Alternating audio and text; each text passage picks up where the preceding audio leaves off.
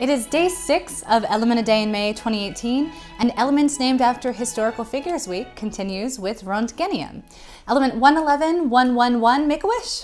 Just kidding. This element, like a few others I've talked about this week, was discovered at the GSI Helmholtz Center for Heavy Ion Research near Darmstadt, Germany. Like most synthetic elements, it was created by bombarding one element with another enough times that they fused and created a new element and existed as a single atom for a very short period of time. And they don't really know what it's good for because it doesn't exist in nature and they don't know much about it. But the guy they named it after, Wilhelm Conrad Roentgen, well, we do know a few things about him. What are those things, you say? You ever heard of X-rays? He discovered them.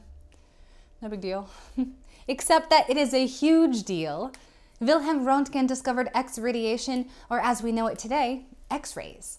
The scientific community even named the unit of measurement after him, the Röntgen, or sometimes just R. Although the International Committee for Weights and Measures came in and said, We reject this name for a unit of measurement. That is, I'm guessing, how they spoke. And it turns out that the equation for the Röntgen wasn't the most efficient way to measure radiation anyway, but Röntgen's legacy was made secure when the International Union of Pure and Applied Chemistry in 2004 confirmed the name Röntgenium for element 111. But why Röntgen for that particular element?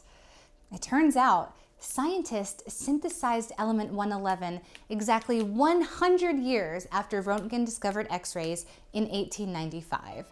I love that.